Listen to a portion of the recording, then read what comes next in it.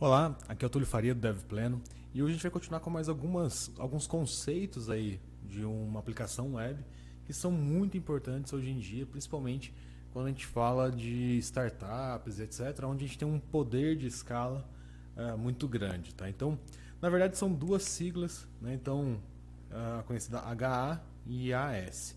HA é de alta disponibilidade em inglês, então High Availability,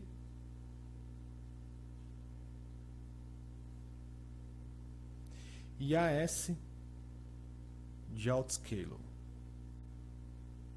Bom, o que, que esses conceitos querem dizer na prática? A alta disponibilidade quer dizer que a gente o sistema praticamente ele não cai, né? então ou, ele vai ter uma disponibilidade mais alta possível. Então ele vai estar disponível uma boa parte do tempo aí, tá? Então a disponibilidade dele é, é maior, tá? Então qual é a tentativa aqui? Do sistema não ficar offline nenhum, nenhum segundo sequer. Por quê? Se a gente tiver uma escala de usuários muito grande, se a gente ficar um, dois, três, dez segundos fora, uh, você, o prejuízo financeiro que isso vai gerar é muito grande. Então a disponibilidade ela traz dinheiro. E um outro fator para a gente conseguir ter essa disponibilidade é o quanto que a arquitetura que a gente planejou e, e, e fez o design, né? então a gente, a gente é, projetou, se ela consegue é, ter uma elasticidade suficiente para isso. O que quer dizer elasticidade? Vamos supor que eu tenho um servidor, então um server aqui, que ele suporte 100 usuários, 100 users. Se eu tiver uma carga de 300 users, que eu consiga ter, uh, sei lá, dois servers, por exemplo, mantendo esses, esses 300 users, ou três servers aqui. Tá? Então, essa, esse auto-scaling é, ele é uma forma de você escalar a aplicação para você ter alta disponibilidade. Tá? Então, ele é um, essas duas palavras combinadas é, é algo que a gente deseja para todo o sistema, principalmente de uma startup. Que ele seja altamente disponível, né? então que nunca fique offline, e que quando eu tenho picos de acesso, o outscaling, uh, o outscale aqui, ou outscaling também é conhecido, né? que é o que o outscaling ele suporte essa elasticidade, tanto para cima quanto para baixo. Então, por exemplo, nesse caso aqui, se a gente tem, se a gente for pensar numa curva de, de, de usuários, se eu tenho 100 usuários, eu posso continuar com o número X de servidores.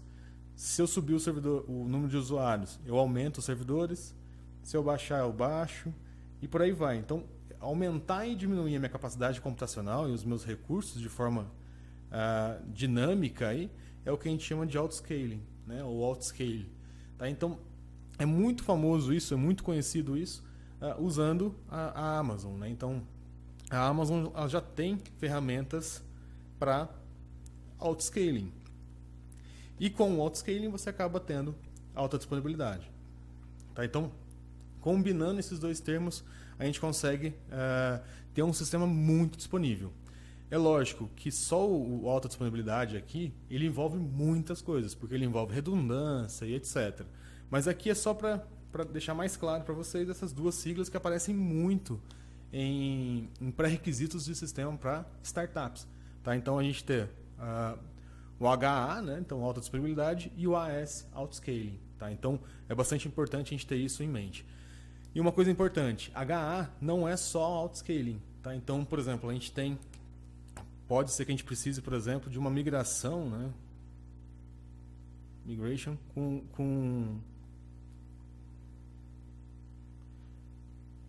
migration com, com zero downtime. Então, por exemplo, se eu for aplicar uma atualização de software, como que eu faço para não ter downtime? Né? Então, para não ter uh, o sistema não fique indisponível. Tá?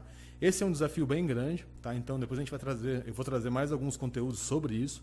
Eu venho testando bastante isso. Tá? Então, numa startup que eu venho uh, prestando serviço, então a gente vem testando bastante isso, testando bastante autoscaling, testando bastante alta disponibilidade testando bastante atualizações de software sem downtime, uh, atualizações de software que são possíveis de serem desfeitas. Então, se, se acontecer um problema e o software for para produção com um problema, a gente consegue desfazer isso. E, e isso é muito legal para ter esse ambiente de uma altíssima uh, disponibilidade. Por quê? Uh, numa startup, imagina um Uber, por exemplo, ficar 10 minutos fora do ar. É muito dinheiro que vai simplesmente ser perdido. Tá? Então, uh, isso aqui é muito importante para as aplicações, tá? então para as aplicações modernas aí. Se vocês tiverem qualquer dúvida, me manda um e-mail, comenta aqui no vídeo. Não esquece de inscrever no canal, curte a gente lá no Facebook e eu vejo vocês com a próxima dica com algumas, alguns conceitos a mais aí da arquitetura web. Até lá!